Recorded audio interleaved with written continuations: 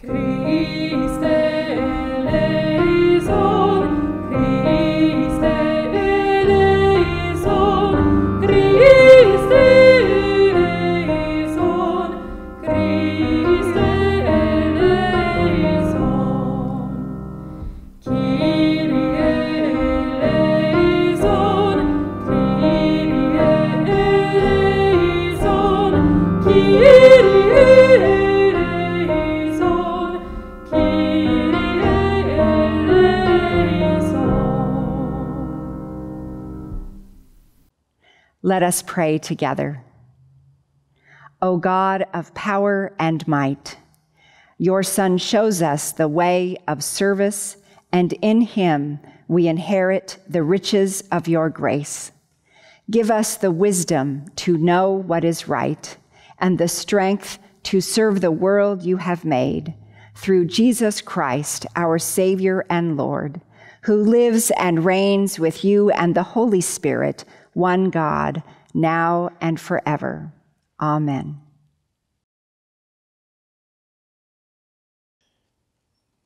We enter this season full of longing and hope. We long to be restored, uplifted, comforted. For Jesus to enter the stable of our lives and world. We renew hope for ourselves and our future. We also long for the second coming of Christ, for Jesus to return and bring to us and all of creation to wholeness and peace. Lamentations chapter 3 offers us a vision of hope. But this I call to mind, and therefore have ho- I have hope. The steadfast love of the Lord never ceases. God's mercies never come to an end. They are new every morning. Great is your faithfulness. The Lord is my portion, says my soul. Therefore, I will hope in the Lord.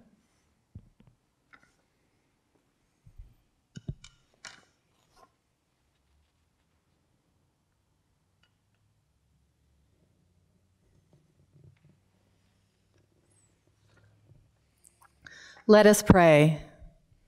Gracious God, as this Advent season begins, we cry out to you seeking hope.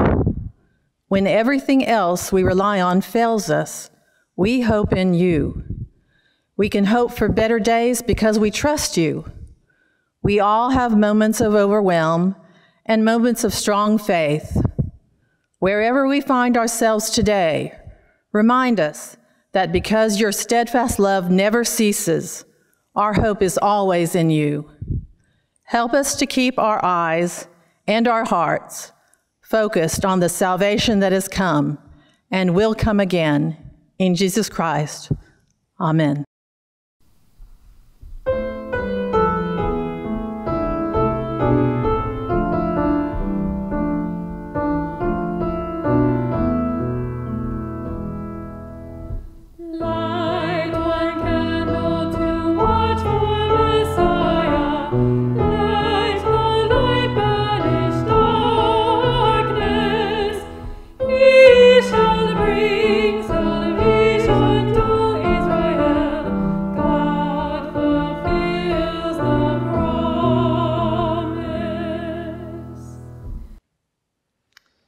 Reading from Isaiah. Oh, that you would tear open the heavens and come down, so that the mountains would quake at your presence. As when fire kindles brush, brushwood and the fire causes water to boil, to make your name known to your adversaries, so that the nations might tremble at your presence. When you did awesome deeds that we did not expect, you came down. The mountains quaked at your presence.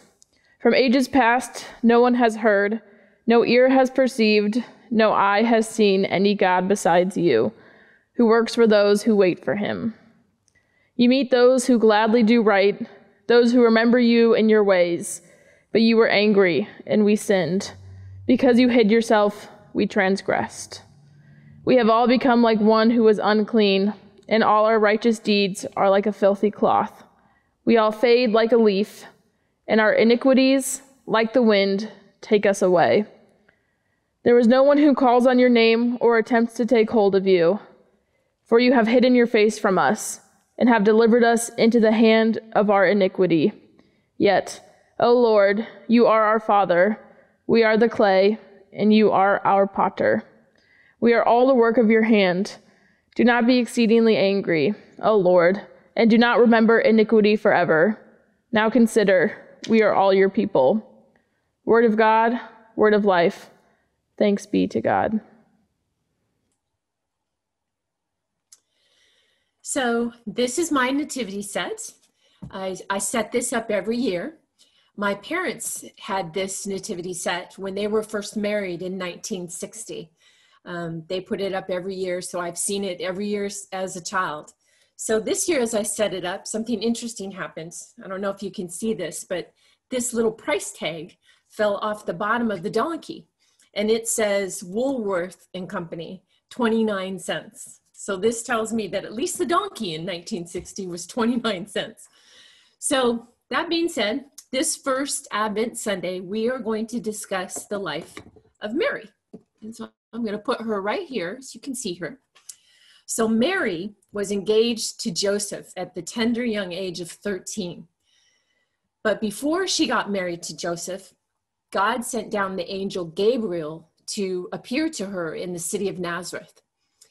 And Gabriel told her that she is blessed among women and that God has shown favor to her. He also told her that the Holy Spirit would come down upon her and that she would give birth to a son, and that this son would be called Jesus, and that the one that was to be born would be also called the Son of God.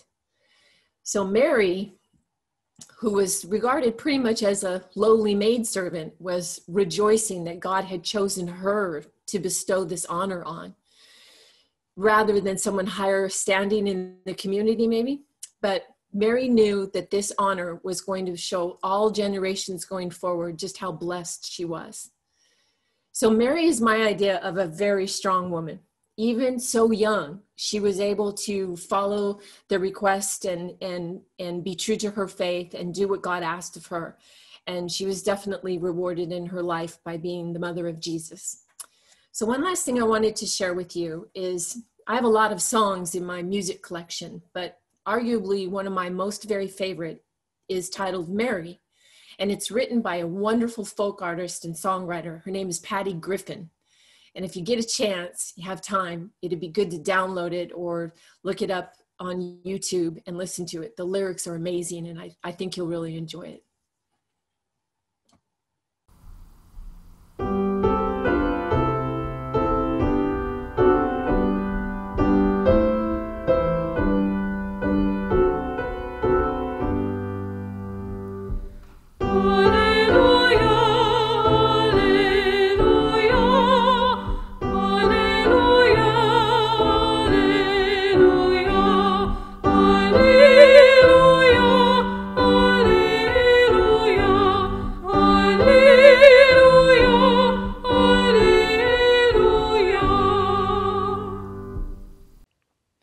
The Holy Gospel according to Mark. Glory to you, O Lord. Jesus said to his disciples, But in those days, after that suffering, the sun will be darkened, and the moon will not give off its light, and the stars will be falling from the heaven, and the powers in the heavens will be shaken. Then they will see the Son of Man coming in the clouds with great power and glory. Then he will send out the angels and gather his elect from the four winds, from the ends of the earth to the ends of heaven. From the fig tree, learn its lesson. As soon as its branch becomes tender and puts forth its leaves, you know that summer is near. So also, when you see these things taking place, you know that he is near at the very gates. Truly, I tell you, this generation will not pass away until all these things have taken place. Heaven and earth will pass away, but my words will not pass away. But about that day or hour, no one knows, neither the angels in heaven nor the Son, but only the Father. Beware, keep alert for you do not know when the time will come. It is like a man going on a journey when he leaves home and puts his slaves in charge, each with his work, and commands the doorkeeper to be on watch. Therefore, keep awake, for you do not know when the master of the house will come. In the evening or at midnight or at cock crow, or at dawn, or else he may find you asleep when he comes suddenly. And what I say to you, I say to all keep awake. The gospel of the Lord. Praise to you, O Christ. Wow. It is easy in 2020 to identify with the early followers of Jesus, with the disciples hearing these words of Jesus just before he was killed on the cross, and with the early Christians hearing these words after their temple in Jerusalem was destroyed by the Romans in the year 70. They all experienced untold suffering. Suffering is indeed at hand for us and its signs are everywhere. Many Christians today see apocalyptic signs all around us. A virus that has affected the entire globe, surging with new and deadly strength around us. Wildfires, floods, superstorms, racial conflict, civil and political divisions, and even an infestation of murder hornets. To top it all off, the suspension of Christian worship as we know and love it. Our temples have not been physically destroyed as it was for the early believers, but we are experiencing the closest thing to it that we have ever known the loss of our ability to gather and praise and sing together in our sanctuary, not just for a month, but now stretching on for nine months with not a clear ending date in sight. Yes, there is suffering. So much has been destroyed. It feels as if the sun has darkened and the moon will not give off its light and the stars are falling from the heavens, not to wish upon, but as if our very lives are being shaken from their foundations. This is how our Christian faith began out of death and destruction, out of the crucible of suffering under the merciless power of oppressors and the loss of all that was familiar. This is how our Advent this year begins in death and destruction, in the crucible of suffering, and under the overpowering sense of loss of so much that is familiar, accompanied by the sadness of what we hoped might be. With astonishing precision, Jesus describes our experience 2,000 years later, and our ancient forebears feel as familiar as first cousins. Like them, we hear these words of what is happening in the world God made, and we must admit this is not the Advent that we want. This reality makes us want to run under the covers and get up when it is all over. Maybe that is why the night before Christmas has that line about I and my kerchief and Ma and her cap were both settled down for a long winter's nap. That is what we all want to slumber through the rest of winter and wake up when new life appears in the spring. We want Christ to come now and make things right.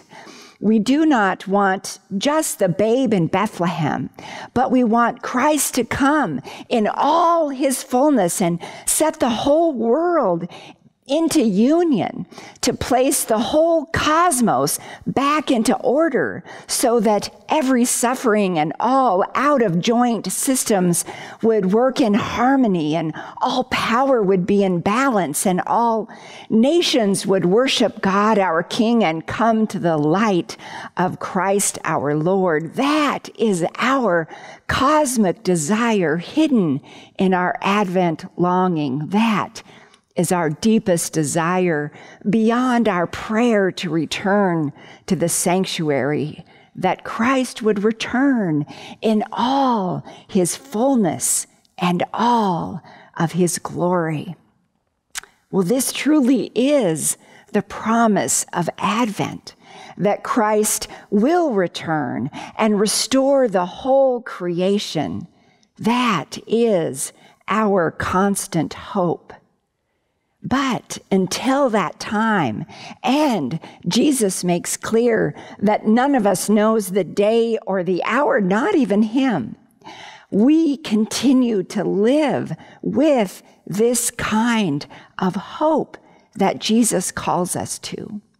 Christ is still risen from the dead, that has not changed. Christ is still victorious over sin, that has not changed. Christ has still conquered the devil, that has not changed.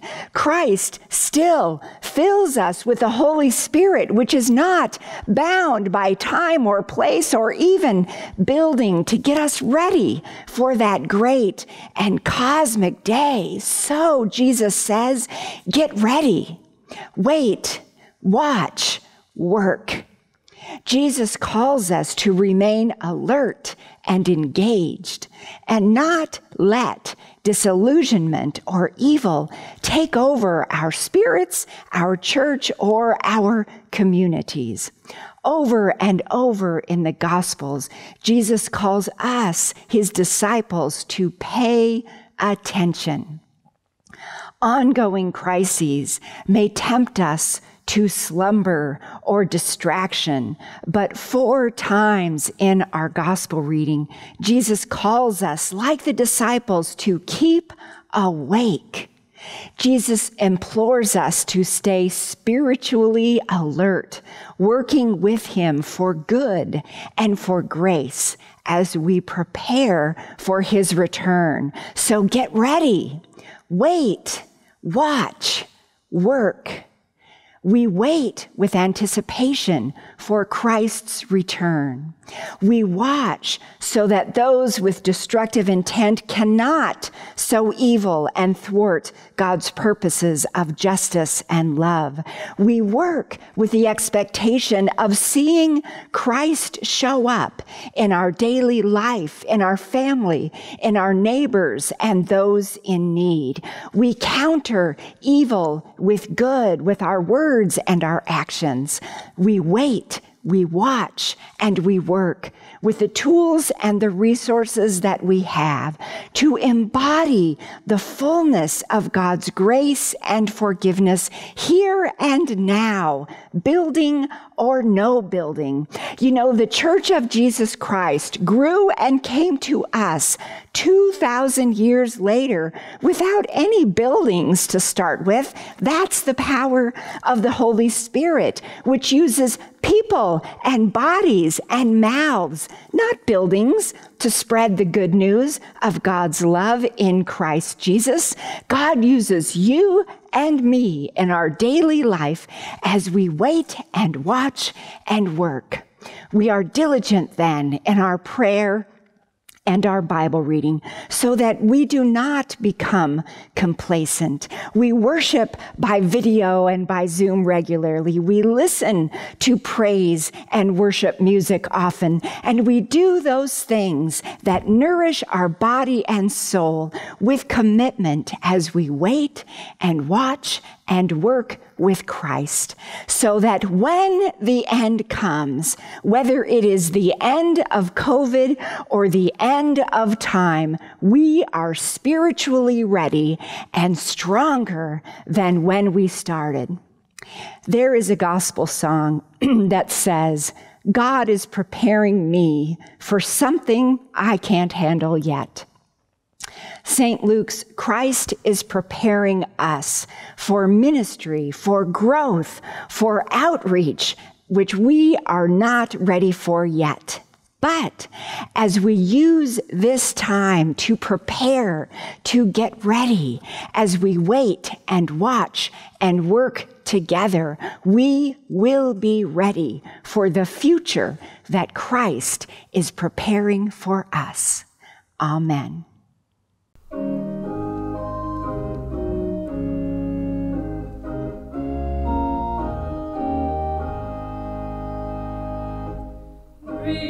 Rejoice,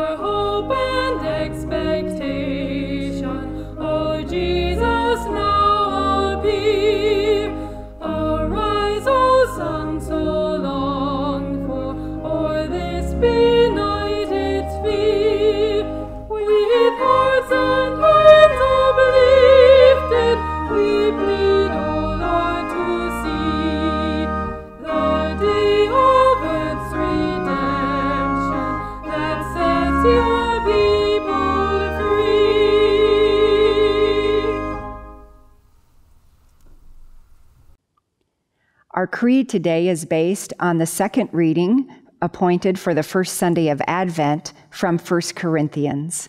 Let us proclaim our faith together. God has given us grace in Christ Jesus, enriching us in speech and knowledge of every kind. The testimony of Christ has also been strengthened among us, that we are not lacking in any spiritual gift as we wait for the revealing of our Lord Jesus Christ. He will also strengthen us to the end, so that we may be blameless on the day of our Lord Jesus Christ. God is faithful. By him we are called into the fellowship of his Son, Jesus Christ our Lord. Amen. We continue with our prayers of intercession. Longing for Christ's reign to come among us, we pray for the outpouring of God's power on the church, the world, and all in need. God of eternity, help us to prepare for your kingdom with patient waiting, attentive watching, and faithful working. Fill us with your spirit that we might resist the temptation to slip into complacency, lazy slumber, and distraction, and instead use the gifts and tools we have to build your kingdom of love and justice on earth. Enable us to live with hope as we look toward the completion of your will when Christ returns to place the whole cosmos back in divine order. Hear us, O God. Your mercy is great. God of tenderness, draw near with your healing touch to all those who are suffering pain or illness of any kind. Grant your presence and comfort to those who turn to you for relief, and give your strength to all who care for others in distress. Bless those close to us, especially Bill, Shirley, Bob, and Martha, Billy Jr. and Sr., Carol, Rita, Ed, Annie, B, Bob, Kevin, Linda, Steve, Joe, Carolyn, Aileen, Carol, and those we name aloud or in our hearts. Hear us, O God. Your mercy is great. God of every day, as we withdraw again back into our homes to protect ourselves and others, make yourself known to us in the details of our daily life. Give us a sacramental awareness of your presence in all things. Make our washing a baptismal remembrance, our meals a communion of gratitude, our laundry a folded stack of prayers, our Zoom meetings an offering of safety for others, our walks the embrace of wonder in creation, and our rest, a surrender to your divine will. Help us to accept what we cannot control and manage what we can with peace. We pray for a communal desire to care for the common good, safety for our children, youth, and the elderly, protection for all who work in healthcare, and civility in our public discourse. Hear us, O God. Your mercy is great. Lord, make us an instrument of your peace. Where there is hatred, let us sow love. Where there is injury, pardon. Where there is doubt, faith. Where there is despair, hope. Where there is darkness, light. Where there is sadness, joy.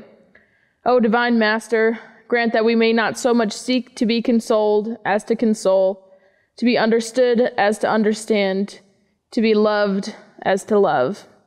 For it is in giving that we receive, it is in pardoning that we are pardoned, and it is dying that we are born to eternal life. Hear us, O God. Your mercy is great. Receive our prayers in the name of Jesus Christ, our Savior, until that day when you gather all creation around your throne, where you will reign forever and ever. Amen. And now may the peace of the risen Christ be with you always, and also with you. You may share the peace of Christ with those in your household or hold the peace of Christ in your heart. We continue with the offering. We prepare for Christ's coming by building up the kingdom of God as we share our faith with gifts of time, talent, and treasure. Thank you for supporting God's work through the mission of St. Luke's.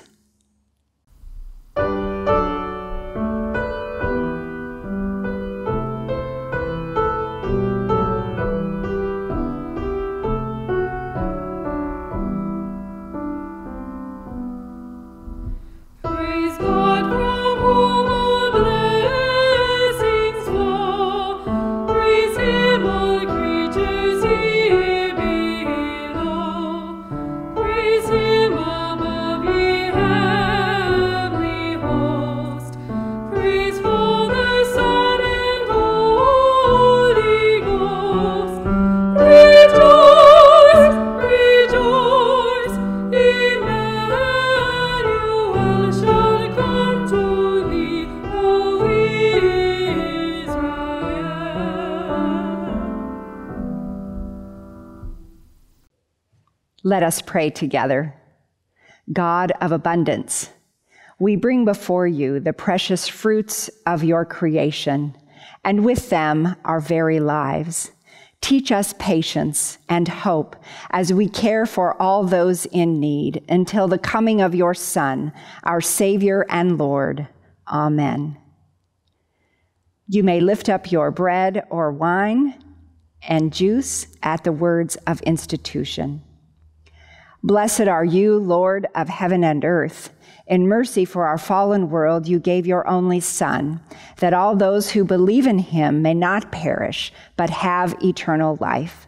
We give thanks to you for the salvation you have prepared for us through Jesus Christ. Send now your Holy Spirit into our hearts, that we may receive our Lord with a living faith as he comes to us in his holy supper. Amen. Come, Lord Jesus. In the night in which he was betrayed, our Lord Jesus took bread and gave thanks. He broke it and gave it to his disciples, saying, Take and eat. This is my body given for you. Do this for the remembrance of me. Again, after supper, he took the cup, gave thanks, and gave it for all to drink, saying, This cup is the new covenant in my blood. It is shed for you and for all people for the forgiveness of sin. Do this for the remembrance of me. Gathered into one by the Holy Spirit, let us pray as Jesus taught us. Our Father, who art in heaven, hallowed be thy name. Thy kingdom come, thy will be done, on earth as it is in heaven. Give us this day our daily bread, and forgive us our trespasses, as we forgive those who trespass against us. And lead us not into temptation, but deliver us from evil. For thine is the kingdom, and the power, and the glory, forever and ever. Amen. You may share communion with those in your household or give it to yourself with the words, the body of Christ given for you and the blood of Christ shed for you.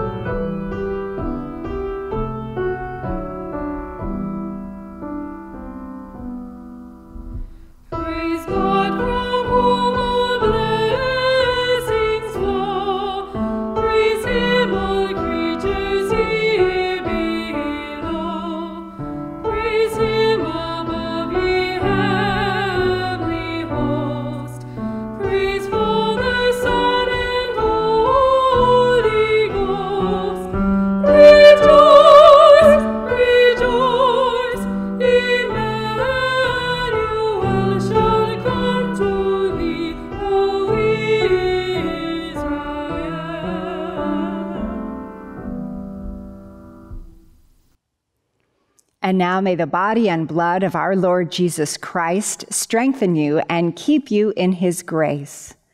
Amen. Let us pray together. God, for whom we wait, in this meal, you give us a foretaste of that day when the hungry will be fed with good things. Send us forth to make known your deeds and to proclaim the greatness of your name. Through Jesus Christ, our Savior and Lord. Amen. And now may the Lord bless you and keep you. May the Lord's face shine upon you with grace and mercy. And may, may, the Lord look upon you with favor and give you peace. In the name of the Father, the Son, and the Holy Spirit. Amen.